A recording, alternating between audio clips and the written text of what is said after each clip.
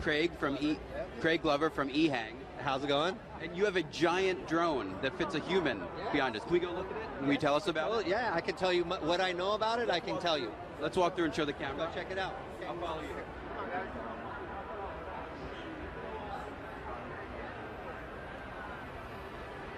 Okay.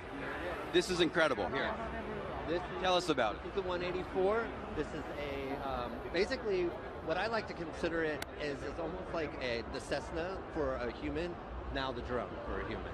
So. Got it. thing will fly for up to uh, 35 minutes, Electric powered? all electric powered, and uh, we're, this is our first unveiling right here, and we're doing what we can with it. It's um, has a lot of different. Uh, uh, similarities with the drones that are of today, but now this is something that an actual human can sit in and actually go and It looks fly. like something from a movie. It's definitely something from a movie standpoint, but Have you tested it yet? Does Yes, it fly? tested. Yeah, I- I mean, you got to look at the video here. Okay. There you go. And what's it going to sell for?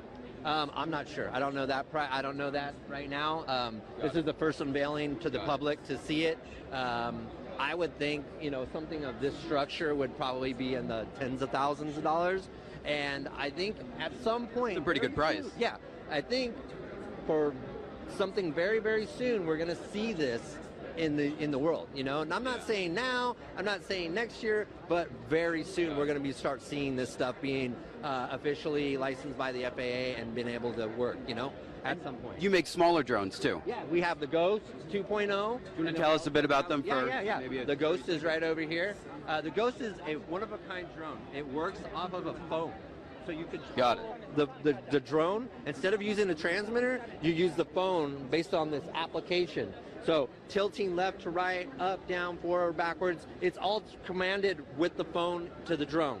It's a really great platform, super easy to fly. This is on sale now. On sale now. It's What does it sell for? uh, this one starts out at seven or five ninety nine, seven ninety nine, nine ninety nine, and then twelve ninety nine. And it holds a GoPro. It looks like. yeah, it holds a GoPro, and then we also have one with our. Um, this is our brand new 4K model.